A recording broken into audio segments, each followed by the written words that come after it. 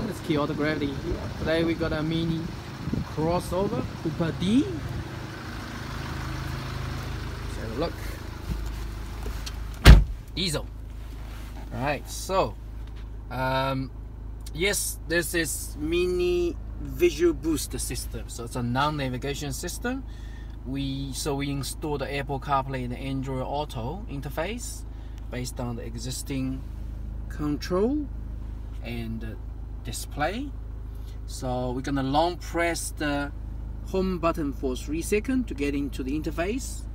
Um, yeah, we install the USB inside the glove box here. Uh, first of all, make sure under the CD multimedia here, media here, and it is selected as AUX auxiliary aux front and then we long press the home button for three seconds yep.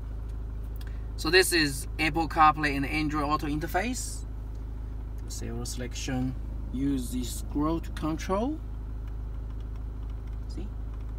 Yeah um, let's connect the Samsung phone for Android Auto first. So I got a Samsung here. I got a um, my USB connect to the port here. So let's get connected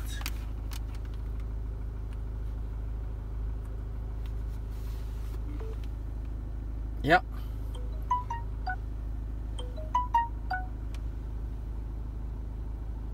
And that's all. Android Auto System. Google Map. So let's go here. See, that's the uh, apps. There's lots of supported apps can be used. Uh, Google Map mainly, and uh, radio, iHeartRadio, and obviously can download um, Spotify and other supported apps for Android Auto. That one confirm. Play.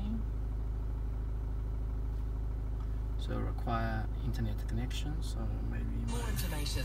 Visit hardrove.co.nz. Yep. Stop. Go back to the main menu. Got a map. So we got the minion road here. That's us. So this one can use up and down to select and confirm so home menu? That's home menu. So yeah so this is a Android Auto. Pretty easy to use. Let me disconnect the Android Auto and then we can go Apple CarPlay.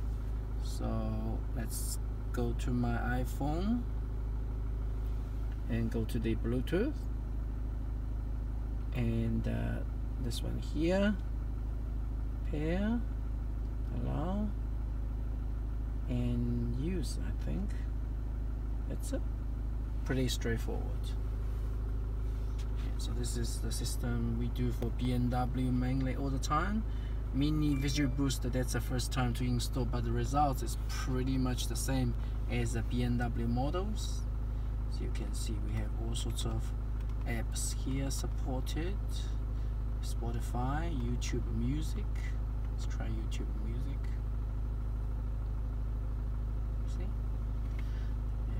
go back.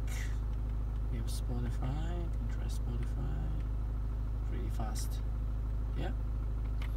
Uh, we have yeah other music source and Google Map. See? And then yeah then this is the place to go to the main menu. And then you can select to go to the Apple CarPlay. Yeah. And we got a camera as well yeah. Rear view camera.